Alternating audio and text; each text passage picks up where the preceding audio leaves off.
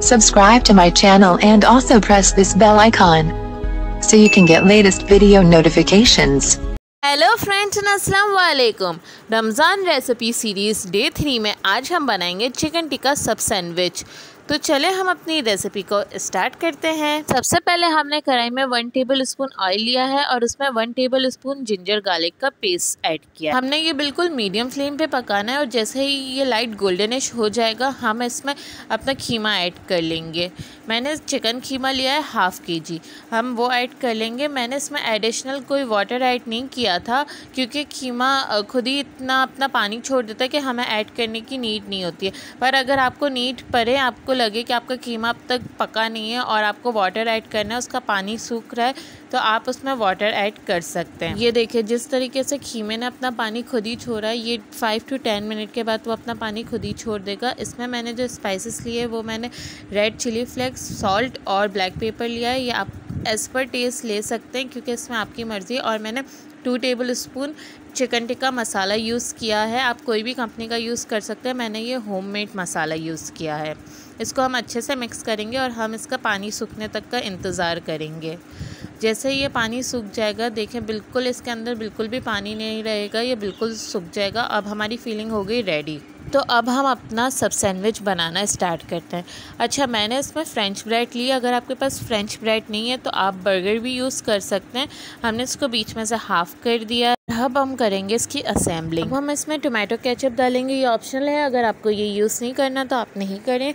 अब हम कैचअप डाल के इसको अच्छे से स्प्रेड कर लेंगे. मैंने इसमें सैलड लीफ लिया है ककुम्बर लिया है और टोमेटो लिया है. और फिर हम सबसे पहले सैलेड लीफ लगाएँगे।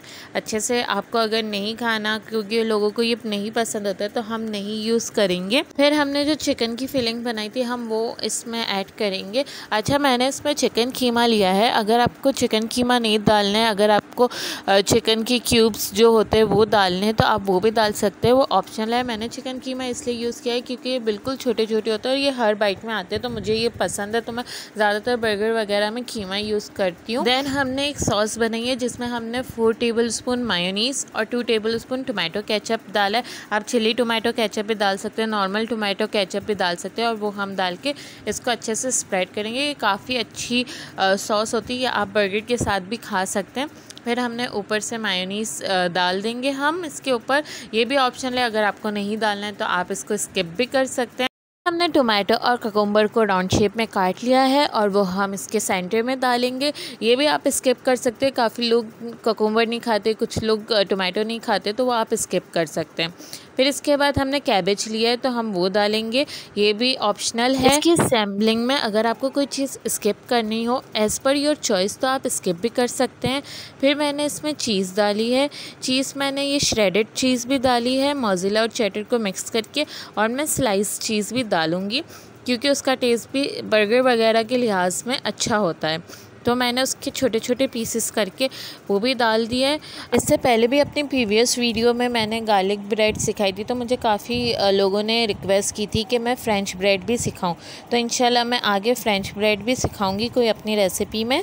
तो आप घर पे भी ये ब्रेड बना सकते हैं, आप उससे बंस भी बना सकते हैं, आप उससे गार्लिक ब्रेड भी बना सकते हैं, वो बहुत यूज़फुल होती है, आप उससे काफ़ी चीज़ें बना सकते हैं। ये हमने इसमें चीज़ डाल दी और अब हम इसे बंद कर देंगे। और फिर मैंने इसके ऊपर बटर लगाए। वो ऑप्शनल है, अगर आपको नहीं लगाना तो आप नहीं लगाएँ। और फिर मैंने इसको बेक करने रख दिया फोर फाइव मिनट जब तक इसकी चीज़ मेल्ट हो जाएगी तब तक। अब मैं आपको यही चीज़ बर्गर में बना के दिखा रही हूँ कि जिनके पास फ्रेंच ब्रेड नहीं है तो वो बर्गर में किस तरीके से बना सकते हैं। कि assembling as it is French bread की ही तरह होगी। सबसे पहले हमने बन को हाफ़ काट लिया है, फिर हम कैचअप डालेंगे, उसे अच्छे से स्प्रेड करेंगे और फिर उसमें हम सैलड डालेंगे। फिर जो हमने फिलिंग बनाई थी, हम वो डालेंगे, अच्छे से स्प्रेड कर देंगे। सॉस जो बनाया था, हम वो डालेंगे। टोमेटो और ककुम्बर डालेंगे। छोटे छोटे पीसेस में कैबेज डालेंगे। अच्छा इसमें हम ऑलिव भी डाल सकते हैं। मैं अपने फ्रेंच ब्रेड में ऑलिव डालना भूल गई थी तो मैंने बर्गर में ऐड किया है। आप इसमें ये भी डाल सकते हैं। स्लाइस डालेंगे। अब हमारा बर्गर हो गया रेडी अब हमारा चिकन टिक्का सब सैंडविच हो गया रेडी ये बहुत ही डिलीशियस और बहुत ही क्विक रेसिपी है। सो आप सबको ये पसंद आई हो। अगर आपको ये पसंद आई हो तो इसे लाइक और नीचे कमेंट करके ज़रूर बताएगा। ओके अल्लाह हाफिज़!